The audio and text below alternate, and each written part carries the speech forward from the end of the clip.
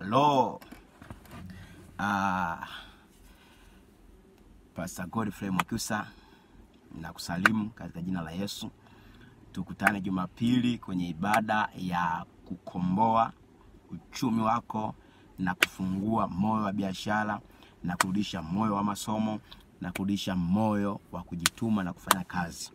Inawezekana ulikuwa na moyo wa kufanya kazi, moyo wa biashara, moyo wa, wa, wa, wa kupenda maendeleo, lakini wachawi wakaiba moyo huo, na ndio maana Mungu akasema linda sana moyo wako kuliko vitu vyote ulindavyo, maana huko ndiko zitokako chemchemu ya uzima.